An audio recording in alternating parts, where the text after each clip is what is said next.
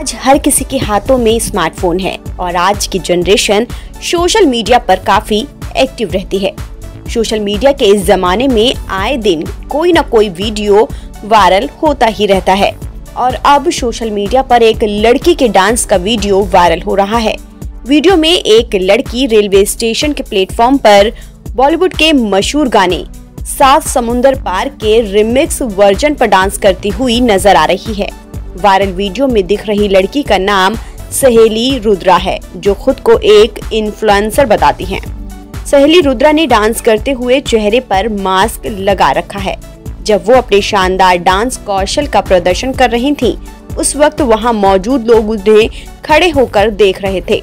Video को 25 million से भी ज़्यादा बार देखा जा चुका है। इस वीडियो पर 2 मिलियन से ज़्यादा लाइक्स और पच्चीस हज़ार के करीब कमेंट्स आ चुके हैं।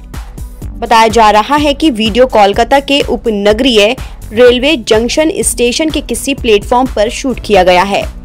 सहेली रुद्रा की इंस्टा फॉलोइंग ज़बरदस्त है। सहेली रुद्रा का इंस्टाग्राम अकाउंट देखकर ऐसा लगता है कि उन्हें वीडियोस बनाने का काफ़ी शौक है। हज़ारों रील वीडियो सहेली ने अपने अकाउंट पर अपलोड किए हैं, जिसे काफ़ी पसंद भी किया गया है।